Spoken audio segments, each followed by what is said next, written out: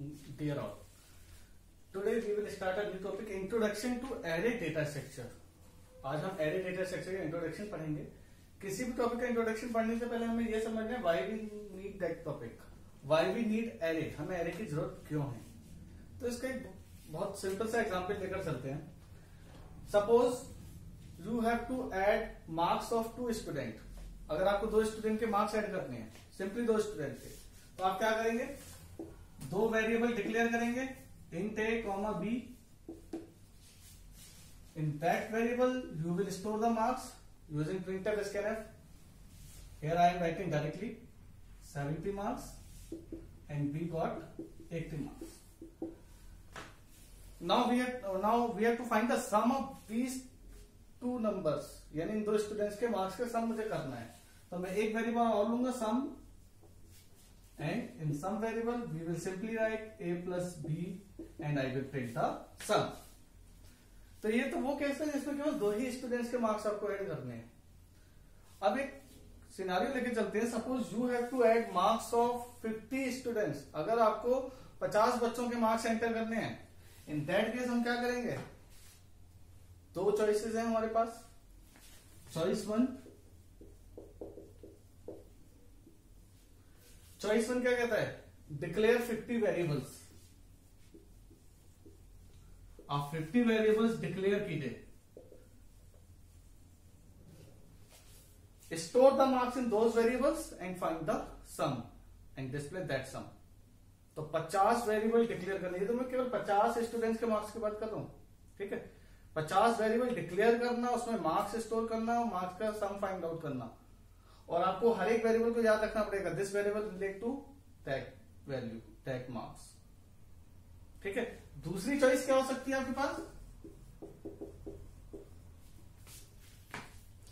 Declare है variable using array data structure declare a variable array data structure हमने declare कर लिया और साइज 50 इस तरह से अभी एग्जांपल जस्ट समझ लेते हैं इंट ए फिफ्टी सपोज ये कह रहे हो गया यहां पे मैं क्या करता int a one comma b one comma and so on fifty variables declare करता पहली वाली चॉइस में सेकंड चॉइस में हमने क्या लिया 50 स्टूडेंट्स के मार्क्स हम एंटर करेंगे but under the single variable name under the single variable name यहां पे क्या है यहां पे 50 वेरिएबल्स हैं हर एक का नेम अलग होगा क्लियर है यहां पे क्या है यहां पे हम 50 मार्क्स 50 स्टूडेंट्स के मार्क्स स्कोर कर रहे हैं under a single variable name single variable name तो anyone will choose the choice two तो कोई भी होगा वो चॉइस टू को ही सेलेक्ट करेगा क्योंकि इसमें रीडेबिलिटी किस मेथड में होगी प्रोग्राम को रीडेबिलिटी करने में किस में आसानी होगी चॉइस टू में राइटिंग प्रोग्राम को राइट जब आप करोगे तब इजनेस किस चॉइस में मिलेगी आपको चॉइस टू में तो प्रोग्राम को मैनेज करना प्रोग्राम को readable banana that is also the responsibility of the programmer तो आप किस डेटा स्ट्रक्चर को सेलेक्ट करोगे एरे डेटा स्ट्रक्चर को तो first point in a single variable name you can hold multiple values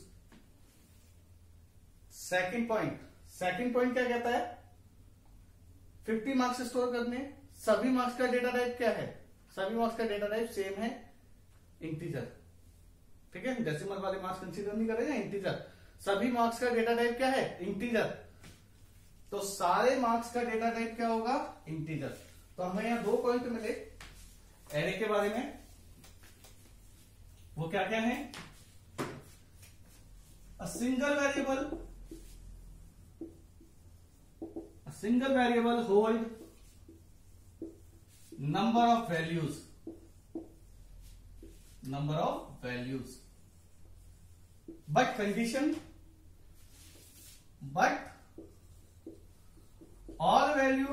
should be of same type. All values should be of same type. यानी अगर integer array ले रहे हैं तो we can store only integer values in that array अगर हम float array ले रहे हैं in that array we can store only float type of values अगर हम कैरेक्टर एरे ले रहे हैं which is also called a string तो हम उसमें केवल कैरेक्टर्स ही स्टोर कर सकते हैं क्लियर है तो why we need array to make the programming easier to make the program readable ठीक है राइटिंग कॉम्प्लेक्सिटी रिड्यूस करने के लिए मैनेजेबिलिटी ऑफ द प्रोग्राम बढ़ाने के लिए so these are the reason we need array जिसमें सिंगल वेरिएबल मल्टीपल वैल्यूज को होल्ड करता है and the type of all the values should be same अब एरे की डेफिनेशन पर आते हैं what is the definition of the array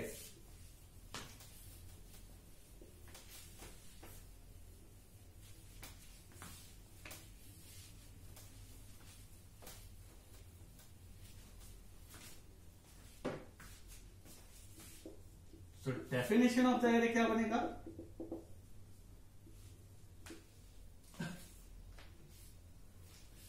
array is a data structure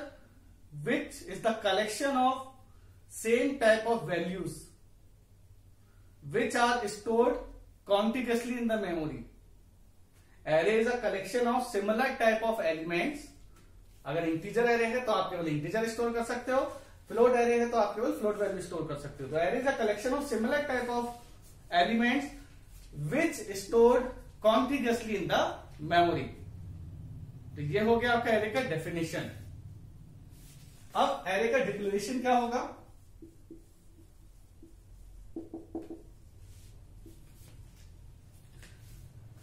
programming में जब भी आप वेरिएबल डिक्लेयर करते हो तो क्या what are the requirements data type what will what is the data type of that variable and name of that variable यही लिखते हो सपोज अगर मुझे एक इंटीजर वेरिएबल डिक्लेयर करना है तो मैं क्या लिखता हूं simply int a in the same way array is also data structure अब मुझे अगर एक एरे को डिक्लेयर करना है तो मुझे क्या पता कर क्या इंफॉर्मेशन देनी होगी at the time of declaration data type of the array first then array name then most important size of the array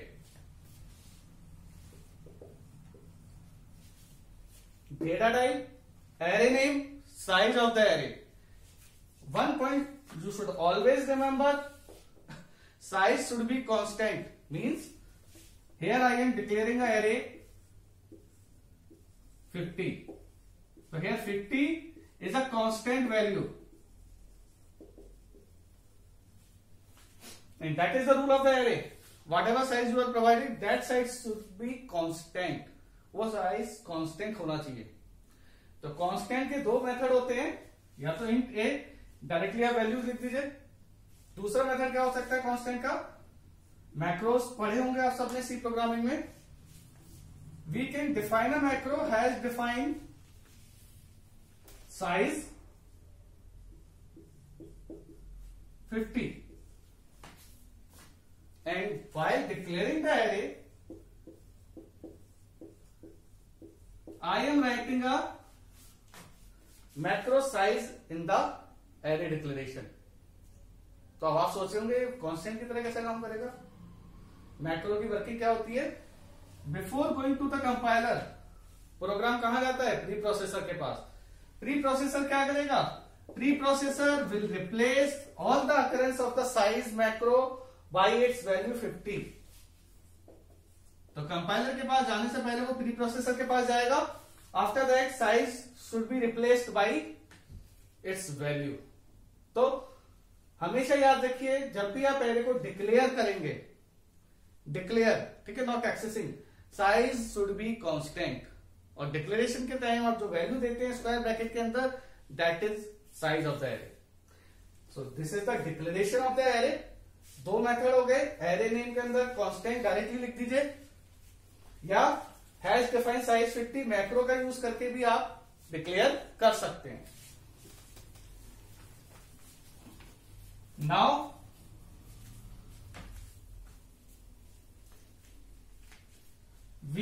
initialize an array while declaring it.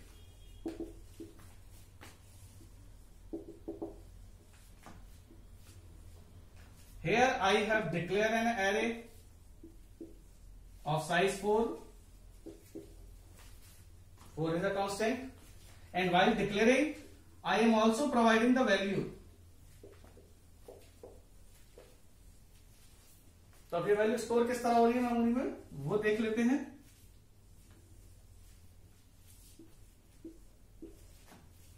Single variable name है जो पूरे number of values को represent करेगा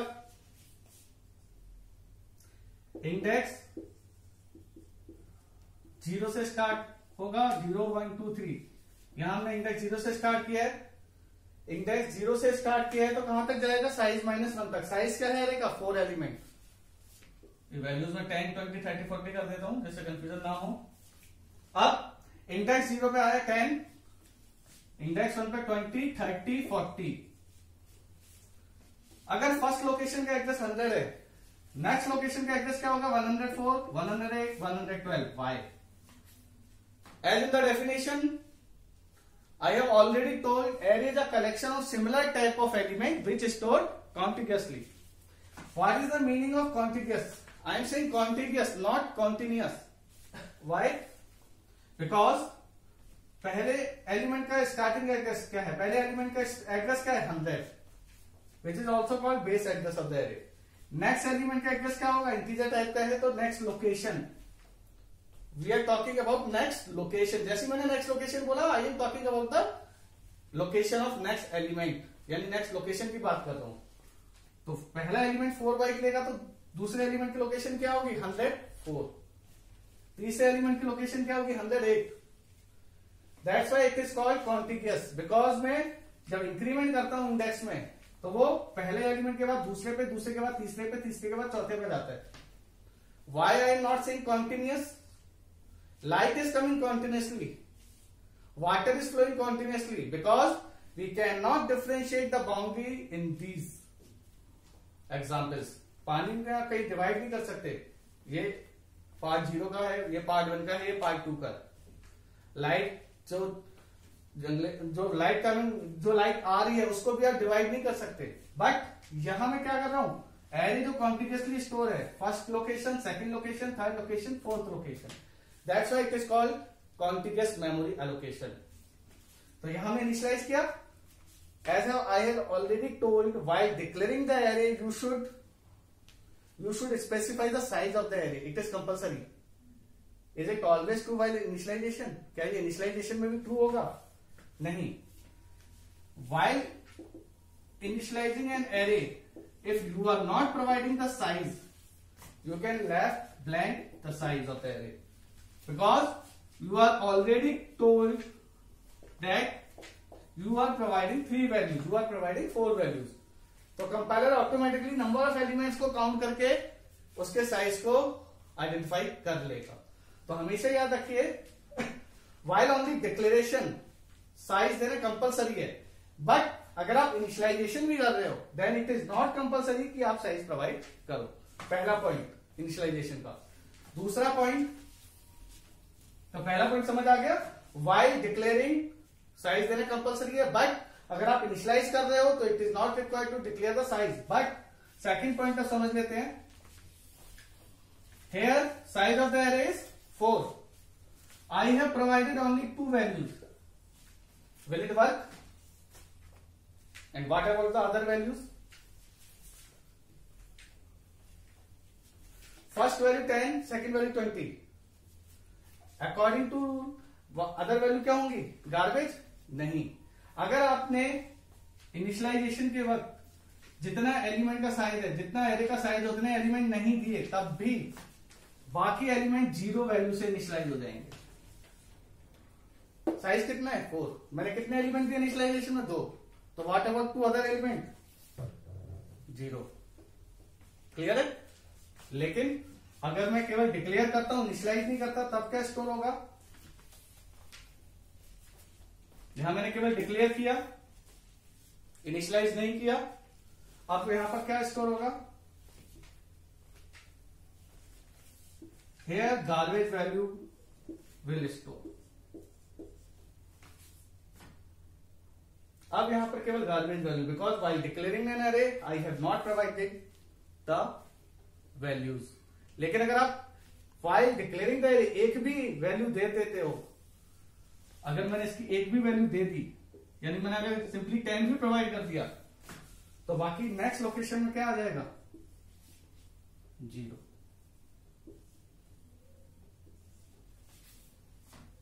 These are some points of declaration and initialization. In the next lecture,